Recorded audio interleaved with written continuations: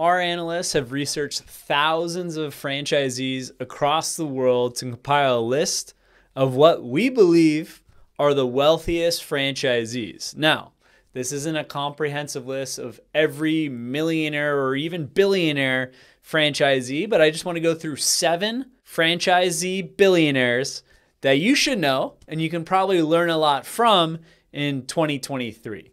They dominate certain industries. So, whether it's restaurants, hotels in Thailand, or restaurants in the Philippines, or even full service restaurants in the United States, these franchisees dominate the market segment they're in which has allowed them to become billion dollar organizations. Some of these are led by individuals, some are led by families, some have even raised outside capital, but these are private companies that are franchisees that have over a billion dollars in value. So let's go through a few of these franchisees and let's start first with Jack Cowin.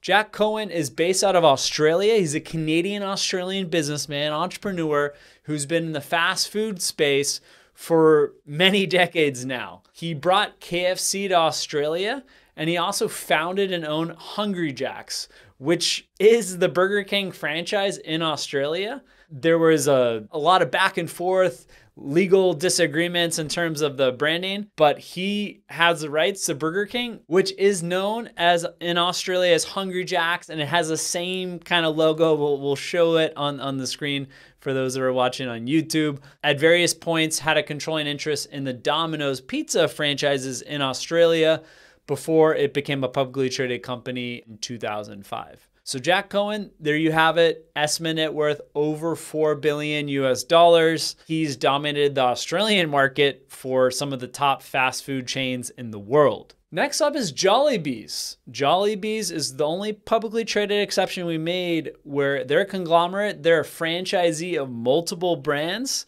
including the master franchisee of Burger King in the Philippines. They also own Greenwich Pizza Corp, Chowking, Red Ribbon, which is a bake shop business in the Philippines, and they bought Smashburger, so they own that franchise brand, the franchisor, which sadly in the United States has struggled with franchise closures, even though their company units continued growth for the Smashburger brand. Jollibees, obviously, they have their own franchise brand as well for anyone that's been to the Philippines and they're they're entering the U.S. market. But Jollibee, uh, an amazing brand that's very well recognized in the Philippines, of course, as well as principally with the Filipino expat community around the world. Next up, you have William Heinecke, estimated net worth $1.6 billion. He's a Thai businessman. He gave up his American passport, founder and chairman of the Minor International PCL. They have hospitality, restaurant, lifestyle brands. They have a portfolio of over 500 hotels under different brands in 55 countries around the world. Some brands include the Tivoli, NH Collection, NH Hotels, Minor International. Minor International is one of Asia's largest restaurant companies with over 2,200 outlets in 26 countries. Again, various brands the Pizza Company, the Coffee Club, Riverside, Benihana, Thai Express, which is a Canadian brand, Bonchon, Swenson, Sizzlers, Dairy Queen, and again, Burger King. Next up on the list, Flynn Restaurant Group, estimated enterprise value $2 billion.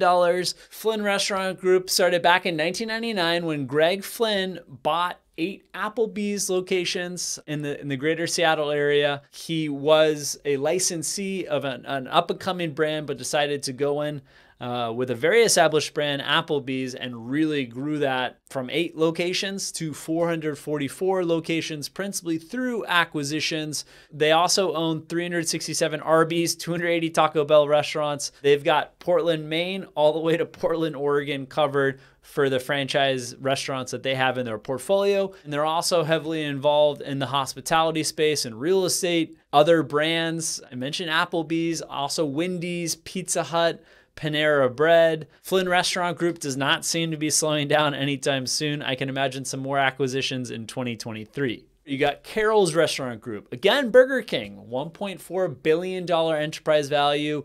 They are the largest Burger King franchisee, own and operate over a thousand Burger Kings, as well as 55 Popeyes. The company has operated Burger King since 1976 across 23 US states, and the company formerly owned the restaurant chains Pollo Tropical, Taco Cabanas, and Carol's. Dhanani Group Estimated enterprise value $1.3 billion. Started in the gas and convenience store business nearly 50 years ago, became franchisee for Burger King in 1994 with their first co branded restaurant in Houston, Texas. They're now one of the top franchisees for the Burger King, Popeyes, also a top franchisee for La Madeleine, which was one of my favorite restaurants, fast casual French uh, cuisine. The group runs 504 Burger Kings, 339 Popeyes, and 41 Le Madeleine restaurants across the United States. Last up, you got the MUY Company's enterprise value, about a billion dollars, owns and operates franchises of Taco Bell, Pizza Hut, Wendy's. It's based in San Antonio, Texas. James Bodenstedt was the founder, sold all